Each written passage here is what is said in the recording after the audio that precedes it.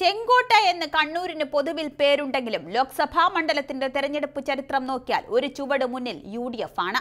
നിലനിർത്താനും പിടിച്ചെടുക്കാനും ഇരു മുന്നണികളും കച്ചകെട്ടിയിറങ്ങിയ ഇത്തവണ പ്രവചനങ്ങൾക്ക് അതീതമായ മത്സരത്തിനാണ് മണ്ഡലം വേദിയാകുന്നത്.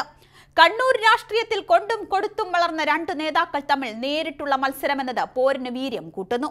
മുഖ്യമന്ത്രിയുടെയും സി പി എം സംസ്ഥാന സെക്രട്ടറിയുടെയും കെ പി സി സി അധ്യക്ഷന്റെയും തട്ടകമെന്ന നിലയിലും കണ്ണൂരിലെ ജയം മുന്നണികൾക്ക് അഭിമാന പ്രശ്നമാണ് കടുത്ത മത്സരമായതിനാൽ അടിത്തട്ടിലേക്ക് ഇറങ്ങിക്കളിക്കാനാണ് മുന്നണികളുടെ ശ്രദ്ധ. സമയം ധാരാളം കിട്ടിയതിനാൽ സി പി എം സ്വന്തം തട്ടകങ്ങൾ നന്നായി ഉഴുതുമറിച്ചു.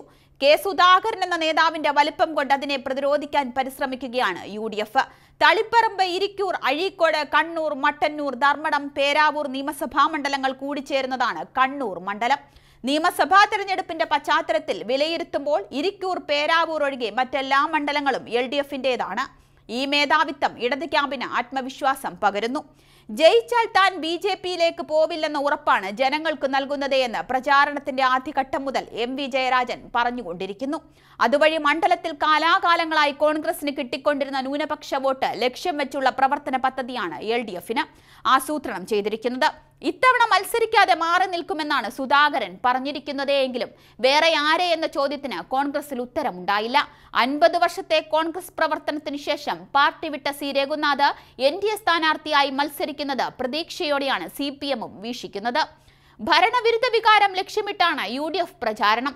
വീഴ്ചകൾ ചൂണ്ടിക്കാട്ടി കേന്ദ്ര സംസ്ഥാന സർക്കാരുകൾക്കെതിരെ ജനവികാരം ഉണർത്തുന്നതിനുള്ള ശ്രമമാണ് നടത്തുന്നത്. സുധാകരന്റെ വിവാദ പ്രസംഗങ്ങൾ എടുത്തുകാട്ടിയും വിവിധ മാധ്യമങ്ങളുടെ പ്രീ പോൾ സർവേ ഫലങ്ങൾ എടുത്തു പറഞ്ഞും ബി ജെ പിയിലേക്ക് പോകേണ്ടി വന്നാൽ പോകുമെന്ന കെ സുധാകരന്റെ പ്രസ്താവനയും എല്ലാമാണ് എൽ ഡി എഫ് പ്രചാരണത്തിന് സമർത്ഥമായി ഉപയോഗിക്കുന്നത്. സി രഘുനാഥിനെ പോലെ സുധാകരനും തിരഞ്ഞെടുപ്പ് കഴിഞ്ഞാൽ ബി ജെ പിയിലേക്ക് ചേരുമെന്ന പ്രചാരണത്തിനാണ് ഊന്നൽ.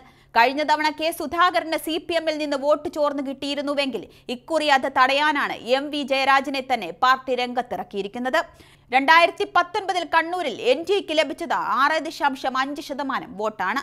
V Muraleedharan P K Krishnadas C K Padmanabhan തുടങ്ങി ഉന്നതരായ നേതാക്കൾ കണ്ണൂർ ജില്ലയിൽ പാർട്ടിക്കുണ്ടെങ്കിലും മറ്റു മണ്ഡലങ്ങളിലുമായി താരതമ്യം ചെയ്യുമ്പോൾ കണ്ണൂരിൽ ബി ജെ പി ദുർബലമാണെന്നാണ് തെരഞ്ഞെടുപ്പ് ചരിത്രം വ്യക്തമാക്കുന്നത്. അതിനാൽ വോട്ട് മറച്ചുവെന്ന ആരോപണം എക്കാലവും കണ്ണൂരിൽ ബി ജെ പിക്കെതിരെ ഉയരാറുമുണ്ട്. ഇത്തവണ ആ ആരോപണത്തിന്റെ മുനയൊടിക്കാനുള്ള നീക്കമാണ് എൻ ഡി എ നടത്തുന്നത്. ഘടകകക്ഷിയായ മുസ്ലിം ലീഗിന് പുറമെ പരസ്യ പിന്തുണയുമായി എസ് ഡി പി ഐ കൂടിയെത്തിയതോടെ മുസ്ലിം ന്യൂനപക്ഷ വോട്ടുകൾ പെട്ടിയിലാകുമെന്ന പ്രതീക്ഷയുണ്ടെങ്കിലും പരമ്പരാഗത ശക്തി കേന്ദ്രമായ ക്രിസ്ത്യൻ ഭൂരിപക്ഷ മേഖലകളിൽ തിരിച്ചടി സംഭവിക്കുമോ എന്ന ആശങ്ക U D F ക്യാമ്പിനുമുണ്ട്. S D P I welfare party ബന്ധം ക്രൈസ്തവ വോട്ട് ബാങ്കിനെ അകറ്റിയ മുൻ അനുഭവങ്ങളാണ് യു ഡി എഫിനെ വേട്ടയാടുന്നത്. ഹൈന്ദവ വോട്ടുകളിലും ഇതിന്റെ പ്രതിഫലനം ഉണ്ടാകും. അതേസമയം യു ഡി എഫിനെ സംബന്ധിച്ച് കണ്ണൂരിൽ ഏറ്റവും ക്രൗഡ് പുള്ളറായ നേതാവ് കെ സുധാകരൻ തന്നെയാണ്. അവസാന ദിവസങ്ങളിൽ ലീഗും സുധാകരന് വേണ്ടി അരയും തലയും മുറക്കി രംഗത്തിറങ്ങാനാണ് സാധ്യത.